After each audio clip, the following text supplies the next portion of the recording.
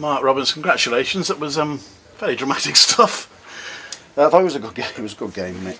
Um, the first half was really good. I thought we played some good stuff. We kept them at bay. Really, we had some good chances. Took the lead. Um, another set play. Then a, a, second one. Brilliant strike from Luke Thomas. Nothing short of what he uh, is deserved and his work rate in it on the day. And and since he's been here, um, delighted for uh, for everybody really because that was a huge shift at the end of a tough week. So, um, you know, amazing performance and, and, an amazing work rate, desire and a desire to win when when you're in front like that you know that the opposition is going to come, especially when you're tired. It seems to give the opponent a lift a little bit, and we just couldn't get a foothold in it.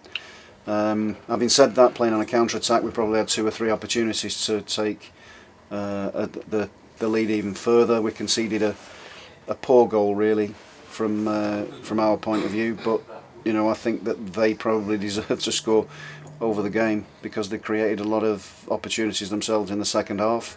I think all all things being equal, it could have been 7-4, I suppose.